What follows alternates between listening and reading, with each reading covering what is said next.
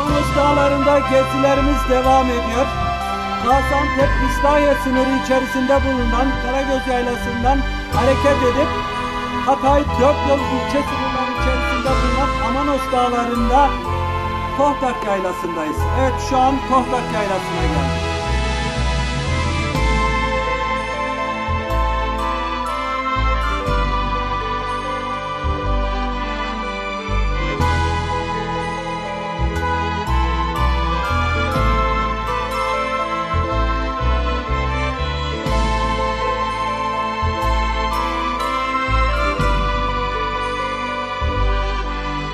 Amanos Dağları'ndaki gezimizi Tohtak Yaylası'nda sonlandırıyoruz. Bizi seyretmeye devam edin.